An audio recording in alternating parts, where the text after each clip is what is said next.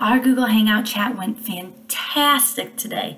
Um, I really appreciated all of you coming because uh, it really made my heart happy to see all of your lovely faces, and I love seeing all your sports attire and uh, your favorite shirts. Um, we really miss you very much, and so it makes us very happy to be able to see your faces through video chat. Um, I will tell you that Mr. Ray and I have talked, and we will be doing a lot more, and we're going to try and implement some themes with them, kind of like we did today with um, the favorite sports teams. So please just keep looking um, at our daily schedule and our daily to-do list. We will always put reminders in there and we'll let you know when we do those chats. Also, we may message you and tell you that we're wanting to do a chat with you. So please just pay very close attention to all of those things because we look forward to talking with you face to face.